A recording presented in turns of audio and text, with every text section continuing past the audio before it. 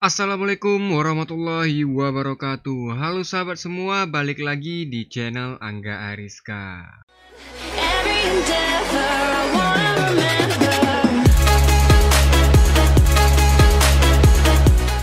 Oke brother, jadi pada kesempatan kali ini Kita akan melakukan pemasangan kunci untuk rumah sakit Pillbox ya Yang sudah kita pasang ke dalam server kita Fungsi kunci yang kita pasang ini ya itu untuk supaya warga di server kita ini tidak barbar masuk ke dalam ruangan-ruangan yang privat ya bagi seorang ambulans gitu. Nah, untuk pemasangan script kunci ini pastinya kita membutuhkan script yang namanya ESX door lock ya brother ya. Dan ESX door lock itu juga kita sudah memasangnya pada video yang ini. Kalian bisa klik itu yang ada di pojok kanan atas ya. Kalian klik aja untuk bagian ESX door lock-nya.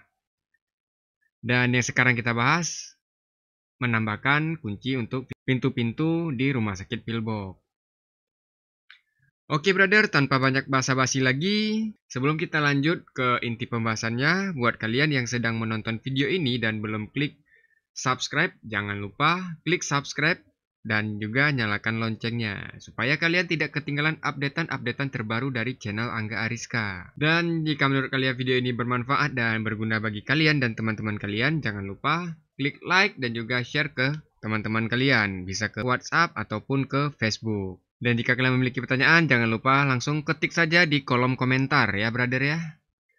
Oke, langsung saja tanpa banyak bacot lagi, kita langsung menuju ke inti pembahasannya. Dan di sini kita buka terlebih dahulu untuk script ESX door lock-nya. Oke, kita masuk ke File Explorer. Kemudian masuk ke data file atau ya nama partisi kalian ya. Kemudian folder server, server data, resource. Kemudian kalian menyimpan si ESX door lock-nya itu di folder apa gitu. Kayak gua misalkan contohnya ESX. Kemudian di sini ada ESX door lock ya. Kita buka ESX door lock dan kita buka config luanya.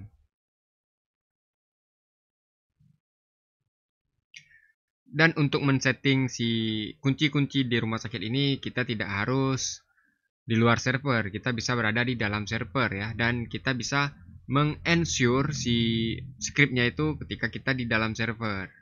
Kenapa kita harus di dalam server? Karena kita harus mengambil titik koordinat titik koordinat pintu yang akan kita kunci. Oke, semoga sampai di sini jelas ya, brother semua. Jadi di config luas si yeshack door ini langsung kita scroll ke bawah sampai paling bawah ya karena kita akan menambahkannya di bawah gitu. Nah, jika sudah paling bawah, untuk pertama kita copy dulu yang ini saja ya karena kita akan mencoba mengunci pintu untuk ruang administrasi untuk si rumah sakit ini ya. Oke, resepsionis dan kemudian di, di sini ada untuk staff only yang di mana di dalamnya akan kita tambahkan fitur untuk mengganti pakaian seperti ini. Nah, mengganti pakaian dan juga post action ya. Next project gue akan membuat tutorial bagaimana caranya memisahkan si fitur boss action dengan locker room ini. So, pantengin terus channel Angga Ariska ya. Jangan lupa di subscribe karena subscribe itu gratis brother, oke? Okay? Oke, kita lanjut saja ya. Untuk pintu ini tidak kita kunci.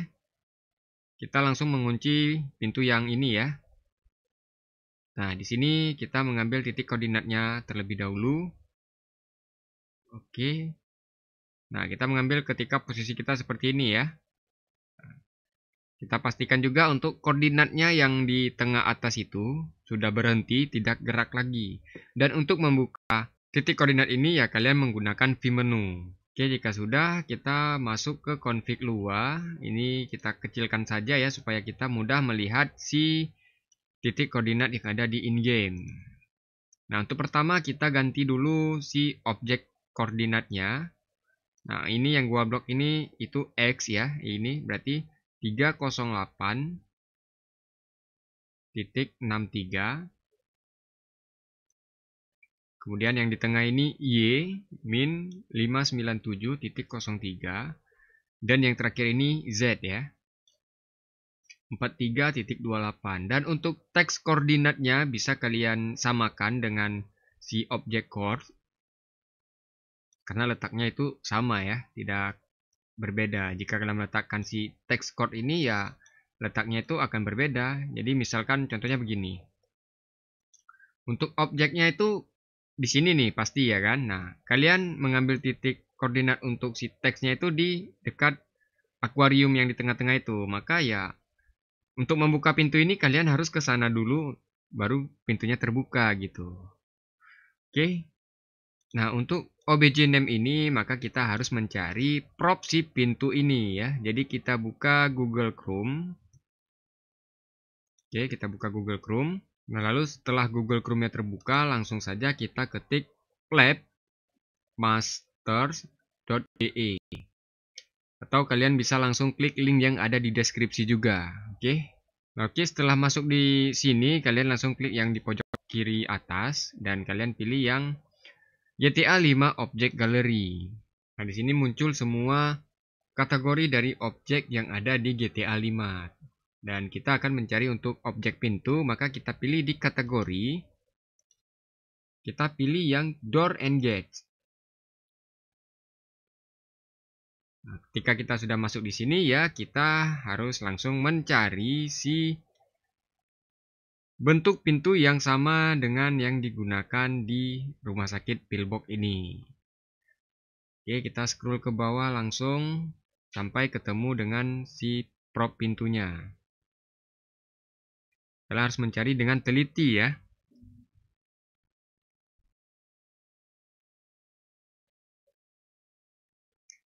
Dia memiliki 12 halaman untuk si flap master, objek pintu dan juga gate ya atau gerbang. Nah, ini hampir sama tapi bukan ya. Terus kita scroll, tidak ada juga. Kita masuk ke halaman ketiga.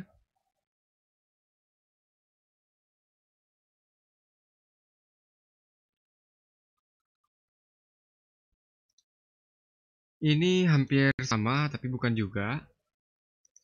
Oke, kita sudah di halaman 6, belum ketemu juga.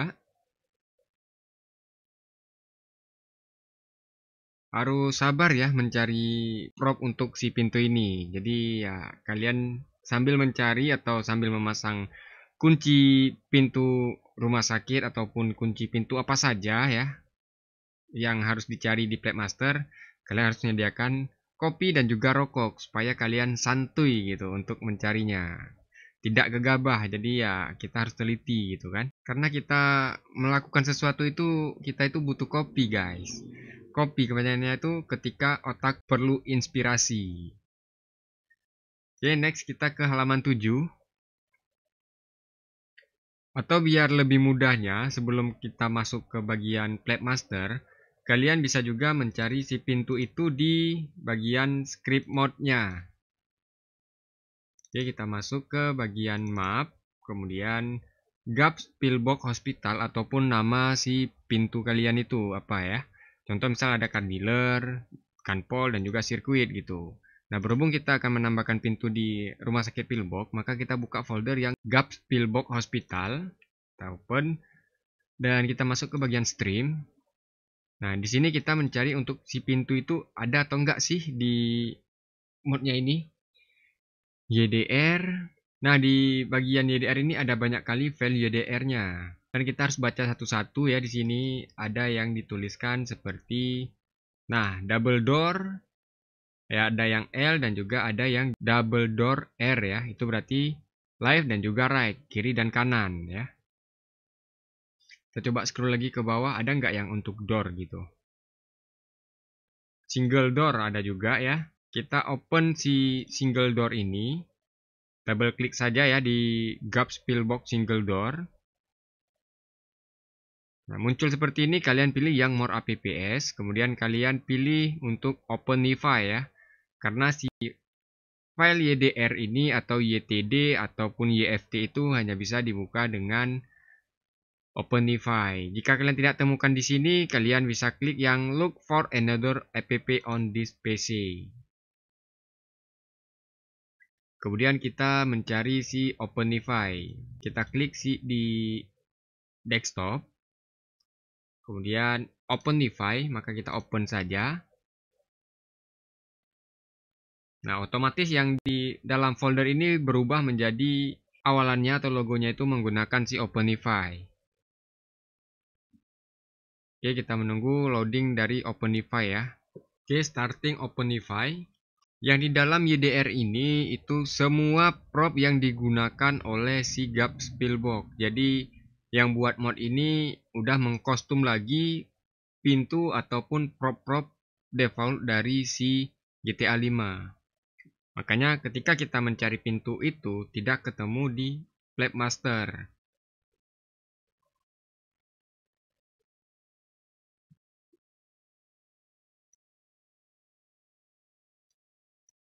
Nah, single door ya, seperti ini ya, brother ya.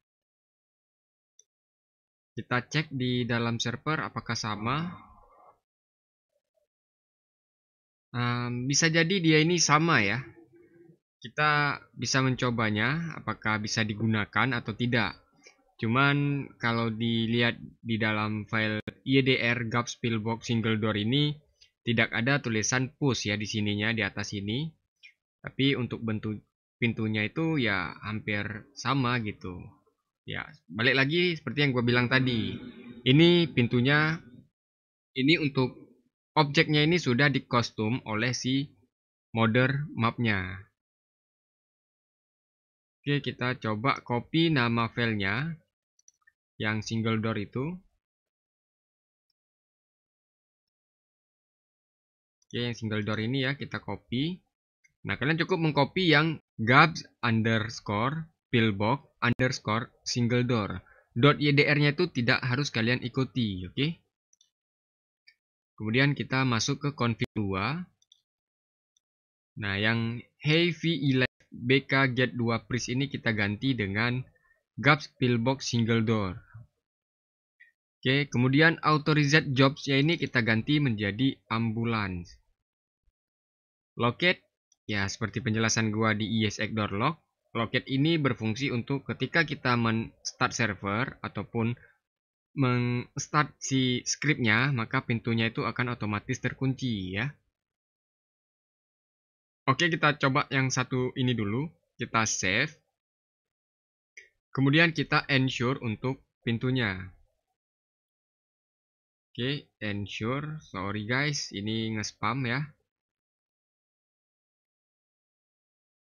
Ensure ESX door lock. Stopping resort ESX door lock dan started resort ESX door lock. Kita balik ke dalam server. Nah sekarang pintunya itu sudah terkunci guys. Jadi kita bisa menggunakan untuk objek name-nya itu yang ada di dalam folder YDR ini oke? okay? Nah, berhubung tulisannya itu kebesaran, maka kita kecilin lagi ya. Untuk size-nya itu kita gunakan 0,5. Kita save. Dan kita ensure lagi.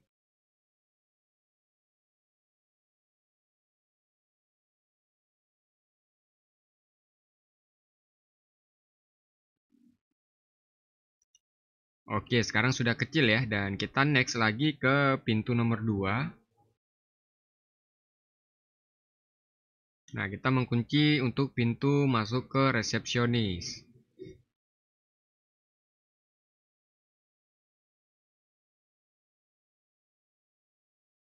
Oke, kita ambil lokasinya di sini. Masuk ke config. Ini kita copy ya. Kita copy, kemudian enter. Nah, kalian bisa menambahkan untuk menandakan pintu ini untuk pintu apa gitu. Kalian tambahkan strip 2 seperti ini, kemudian spasi, staff, resepsionis. Kemudian yang bawahnya itu resepsionis. Nah, kalian harus menambahkan dua strip ini ya karena ini menandakan untuk tulisan ini tidak terbaca di dalam skripnya. Jika kalian tidak menambahkan strip ini, maka itu akan mengakibatkan skrip kalian itu error. Ini hanya untuk menjelaskan saja sih. Oke, untuk nama objek name-nya itu masih sama ya, gaps pillbox single door. Nah, kita akan mengganti si objek course-nya saja dan juga text course-nya. 31376 Y-nya min 596.16 Kemudian Z-nya 4328 Oke, untuk text core-nya kita copy yang ini saja. Paste, kemudian save, dan kita ensure lagi di CMD.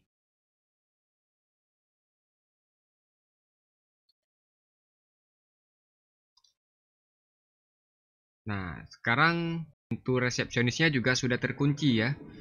Dan di sini kalian dapat melihat ada dua teks yang muncul di layar kalian.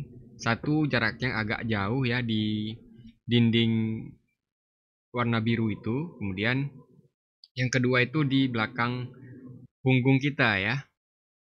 Jadi jika kita menekan E di sini, maka yang di sana juga ikut terbuka.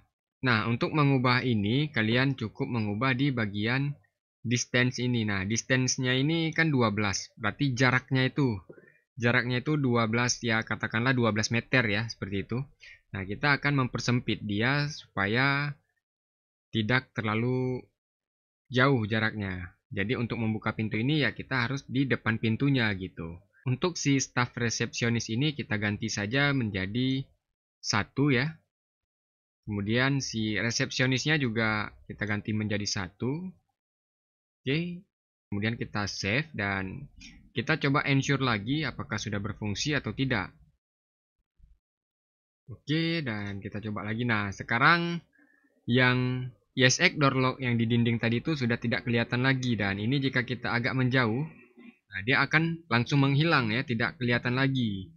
Kita mendekat dengan pintu akan muncul lagi gitu. Nah, kita tekan E di sini. Nah. Untuk pintunya juga sama yang ini. Ketika kita mendekati pintunya baru muncul dia. Oke, brother. Nah, untuk pintu yang model seperti ini itu sama semua ya. Cara pengunciannya itu sama semua. Jadi kalian tinggal mengambil kodenya itu yang ini single door ya gaps pillbox single door untuk pintu yang model seperti ini. Oke? Okay? next kita coba yang model pintu yang di ward B itu ya. Nah untuk model yang seperti ini kita cari lagi di sini oke? Okay? bentar untuk openify pintu single door ini kita close saja karena kita sudah menemukan si objeknya itu. Dan tadi kita melihat ada satu lagi yang door yang ada left dan juga right ya.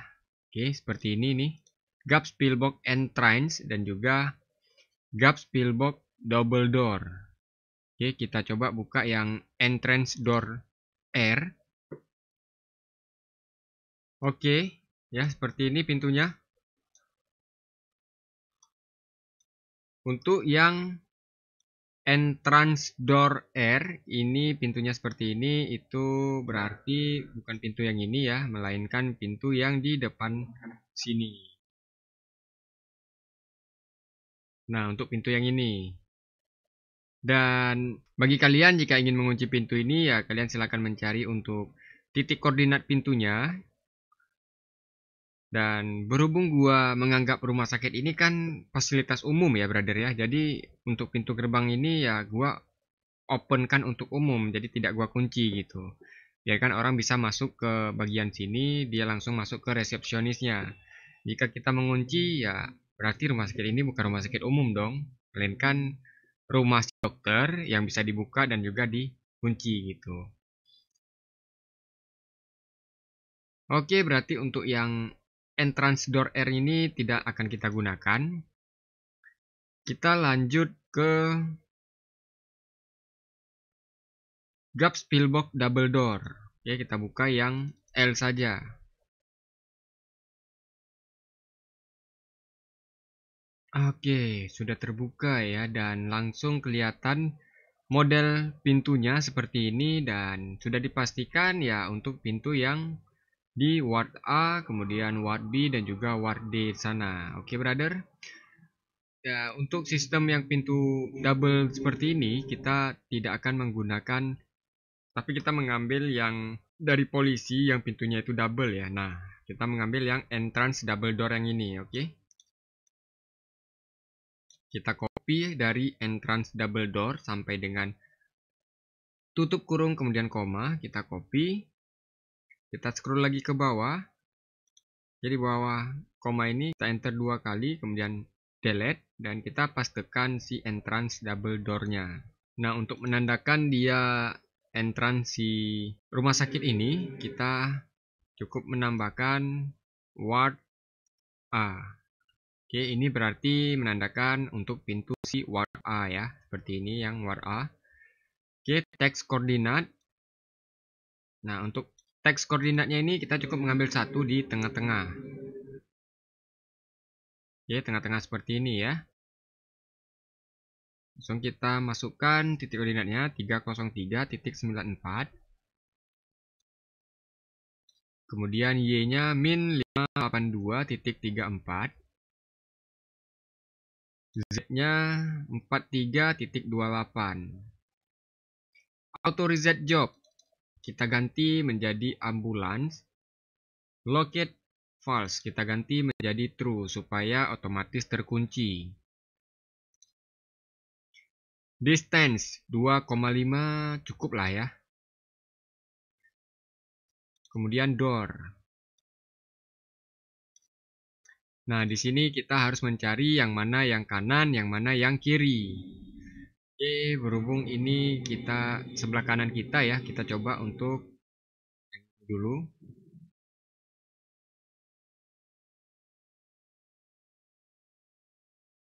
Nah, dia yang kanan berarti itu right ya, yang kodenya itu diakhiri dengan R. Oke, kita copy. Kita paste di obj name. OBJ Yau-nya ini bisa kita hilangkan untuk OBJ Yau. Kemudian OBJ Course.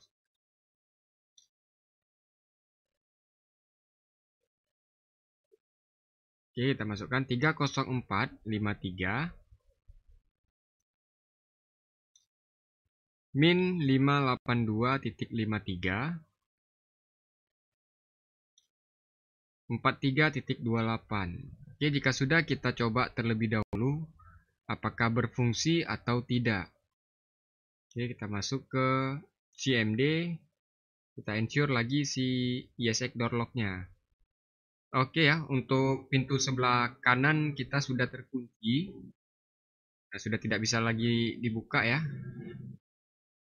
Nah, tinggal sebelah kirinya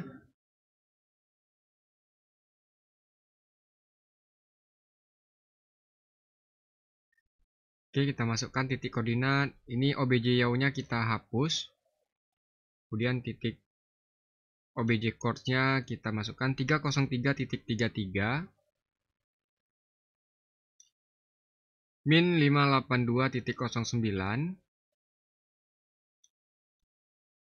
Z-nya 43.28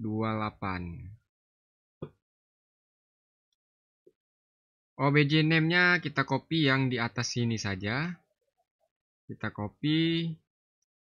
Kita ganti dengan si V11SHRF2 door. Tapi yang R belakangnya ini kita ganti menjadi L. Oke, jika kalian sudah mengganti menjadi L, kita masuk ke dalam game. Kita tekan F8, kita ensure dari F8 juga bisa ya. Yes, X door lock. dan sekarang sudah terkunci kedua-duanya. Sudah terbuka ya. Oke, untuk yang Word B dan juga Word D itu kalian bisa langsung menambahkan dengan penjelasan yang sudah gua jelaskan di Word A. Sama saja, tinggal kalian mengcopy saja si Word A ini copy, kemudian kalian enter di bawahnya. Dan kalian ganti untuk teks koordinatnya dan obj name-nya masih sama ya, nggak usah kalian ganti lagi. Yang harus kalian ganti yaitu teks koordinat, letaknya berarti misalkan untuk what B itu koordinatnya itu teksnya di sini, kemudian what D itu di sini gitu. Dan juga untuk objek course-nya, tinggal kalian ganti itu saja. Dan untuk pintu-pintu yang lain itu sama semua ya, tidak ada yang berbeda. Untuk yang seperti ini itu menggunakan yang single door. Untuk yang what I ini menggunakan entrance door. Exit juga sama. Ya, untuk masing-masing ruangannya juga menggunakan pintu yang sama ya. Yang seperti ini juga menggunakan si entrance door. Kemudian untuk pintu yang model seperti ini, yang untuk staff only ataupun ruangan-ruangannya itu juga menggunakan yang single door. Oke, brother. So, untuk pemasangan kunci rumah sakit pillbox sudah selesai ya. Jika kalian sudah memasang semuanya, Semoga bermanfaat video kali ini buat kalian semua dan mudah kalian pahami dari penjelasan-penjelasan gua. Dan bagi kalian yang masih ada pertanyaan ataupun Bang ini kenapa nggak bisa terkunci ya pintunya? Udah gua masukkan titik koordinatnya, kemudian letak teks koordinatnya itu masih tidak bisa terkunci juga. Kalian pastikan lagi apakah titik koma dari koordinatnya itu sesuai ataupun ya job kalian apakah sudah menjadi seorang ambulans job ataupun masih polisi atau mekanik gitu. Jika kesalahan di lainnya sih menurut gua tidak ada ya, cuman itu doang.